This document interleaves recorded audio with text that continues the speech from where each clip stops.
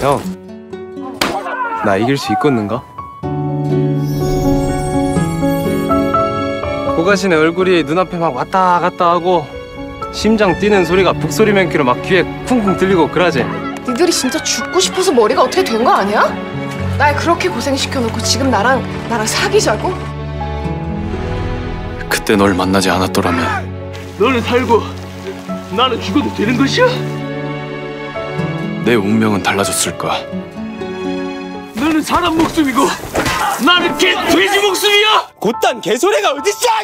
이게 다 너 때문이었더라고. 너만 나타나지 않았어도 나 철웅이하고 경쟁할 일 없었어. 야 이두아! 정상적인 놈이 인연이고 그 비정상적이라는 놈이 악연인 거야. 넌 나 감당 안 돼. 너 분명히 내 인생 책임진다고 했지? 네 인생 성공해서 나한테 갚는다 그랬지 이 새끼야! 정신이 이제 내가 사귀어도 되지?